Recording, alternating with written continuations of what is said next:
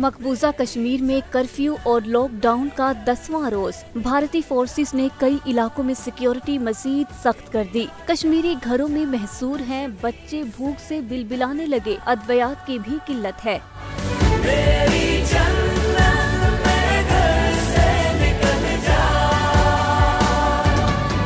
भारत के जबर के सामने कश्मीरी आवाम भी डट गए हैं। कर्फ्यू लॉकडाउन समेत हर तरह की पाबंदियों के बावजूद कश्मीरियों की भारतीय इकदाम को पूरी तरह मुस्तरद कर दिया है। भारत ने सिक्योरिटी मजीद बढ़ा दी है। तू रोक ले राह मस्जिद की, पर सजदे कैसे रोकेगा?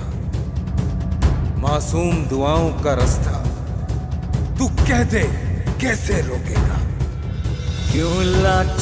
श्रीनगर समेत कश्तवाड़ पलवामा और पूंछ में हज़ारों काबिज फौजी गश्त कर रहे हैं। मकबूजा वादी में इंटरनेट मुसलसल बंद है। कश्मीरी अखबार अब तक अपडेट नहीं हो सके। अखबार पर सिर्फ़ तारीख बदल रही है। खबरें पुरानी ही हैं। बैरूनी दुनिया का वादी से राबता मुनकता है।